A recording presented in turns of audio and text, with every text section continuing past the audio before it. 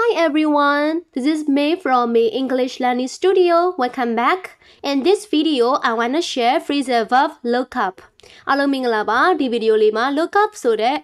phrasal verb ရဲ့အတိတ်ဘယ်ကို share လုပ်ပေးမှာဖြစ်ပါတယ်။ look up မှာ phrasal verb မှာအတိတ်ဘယ်၃ခုရှိပါတယ်။နံပါတ်1အတိတ်ဘယ်ကတော့ search for information in a book on computer ကိုသိချင်တဲ့အချက်လက်တစ်ခုကိုစာအုပ်ထဲမှာရှာကြည့်တယ်။ ဒါမှမဟုတ် computer မှာရှာကြည့်တယ်ဆိုတဲ့အထိပ္ပယ်နဲ့သုံးလို့ရပါတယ် for example look up in the dictionary if you don't know its meaning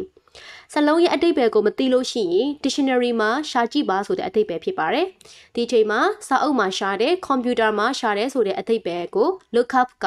သုံးလို့ရပါတယ်။နံပါတ်2အတိတ်ပဲကတော့ visit someone you have not seen for a long time ကိုအချက်အကြာကြီးမတွေးခဲ့ရတဲ့တစုံတစ်ယောက်စီကိုအလဲသွားတယ်ဆိုတဲ့အထိပ္ပယ်နဲ့လည်းသုံးလို့ရပါတယ် For example I look you up next time I'm in London နောက်တစ်ခေါက်လန်ဒန်ရောက်တဲ့အခါကျလို့ရှိရင်မင်းစီကိုအလဲလာခဲ့မယ်ဆိုတဲ့အထိပ္ပယ်ဖြစ်ပါတယ်ဒီအခြေအနေမှာကိုနဲ့တယောက်ယောက်ကအချိန်အကြာကြီးမတွေ့ရဖြစ်နေတယ်ပေါ့နော်ပြန်ပြီးတော့ကိုကသူ့စီအလဲသွားတယ်ဆိုတဲ့အထိပ္ပယ်ဖြစ်ပါတယ်